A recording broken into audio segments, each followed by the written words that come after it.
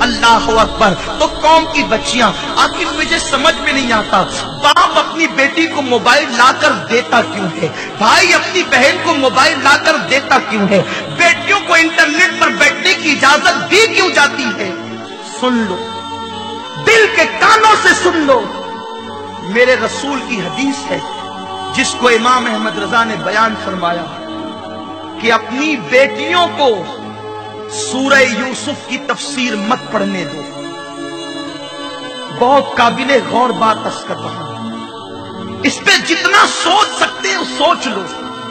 قوم کی بچیاں جتنا سوچ سکتی ہے سوچ لے۔ قرآن کی تفسیر تفسیر ہے۔ سب سے پاکیزہ کتاب قرآن۔ سب سے پاکیزہ تفسیر قرآن کی۔ دنیا کی کوئی کتاب قرآن کے مقابلے میں نہیں ہے۔ دنیا کی کوئی تفسیر تفسیر قرآن کے برابر نہیں۔ لیکن صحیح حدیث کا مفہوم ہے، میرے غیب کا رسول، غیرت مند رسول، باحیا رسول پارسا رسول، عصمت کی جان رسول نے فرمایا، اپنی بیٹیوں کو سورہ یوسف کی تفسیر مت پڑھنے دو۔ انہیں سورہ نور کی تفسیر پڑھاؤ۔ سورہ یوسف کی نہیں اعلی حضرت تحقیق کر کے فرماتے ہیں، سورہ یوسف کی تفسیر عورتوں کو منع کیوں کیا گیا؟ لڑکیوں کو روکا کیوں گیا کہ وہ سورہ یوسف کی تفسیر نہ پڑھے؟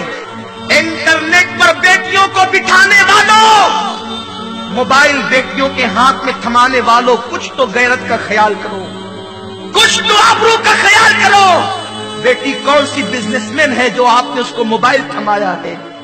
اسے کون سا غیر ملکوں میں کاروبار کرنا ہے جو انٹرنیٹ پہ بٹھایا ہے؟ آخر کیا ضرورت آ گئی؟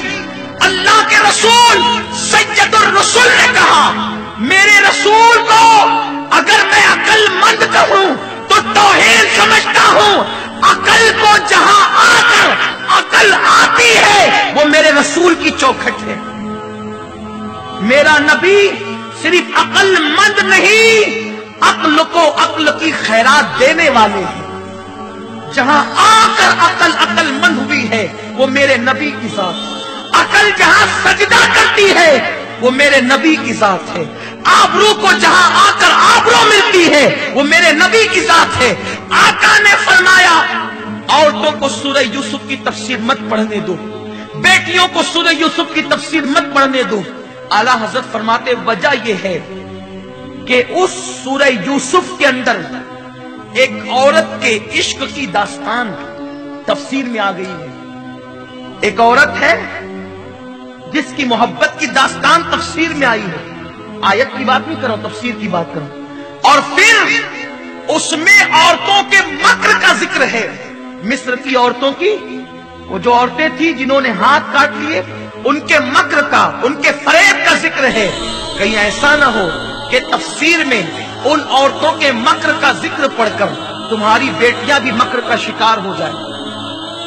اگر قرآن کی تفسیر میں عورت کا مکر ہو، تو میرے رسول بیٹیوں کو اس کی تفسیر پڑھنے سے منع کر دیں۔ اگر قرآن کی تفسیر میں کسی بچی کے لڑکی کے عشق کا تذکرہ ہو، میرے نبی بیٹیوں کو اس کی تفسیر پڑھنے سے منع کر دیں۔ انٹرنیٹ پر کسی زلیخا کی محبت کی داستان نہیں ہے۔ زلیخا تو بڑی پارسا تھی۔ زلیخا کی عظمت پر میرے ماں باپ کی عزت قربان ہے۔ قوم کی بیٹیوں کی آبرو قربان ہے۔ زلیخا بڑی پاک دامن عورت تھی۔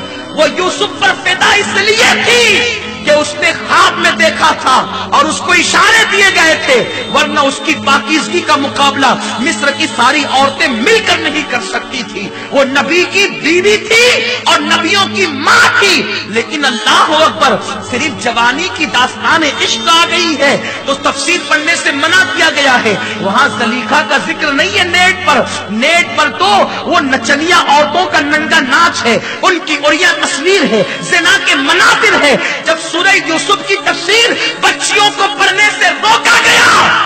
تمہاری بیٹیوں کو نیٹ پر بیٹھنے کی اجازت کس نے دی؟ آدھا آدھا، ایک ایک گھنٹہ، رات دیر گئے تک اجنبی مردوں سے فون پر گفتگو کرنے کی اجازت کس نے دی؟ چھین لو بیٹیوں سے موبائل، کوئی ضرورت نہیں ہے موبائل کی۔ اپنی بیٹیوں کے ہاتھ میں موبائل کی بجائے تسبیح تھما دو۔ بیٹیوں کے ہاتھ میں انٹرنیٹ کی بجائے سورہ نور کی تفسیر ان کو دے دو۔ بیٹیوں کو معذ اللہ بھدکنے اور پارکوں میں گھومنے کی اجازت دینے کی بجائے ان کو مسلح پر بٹھا دو۔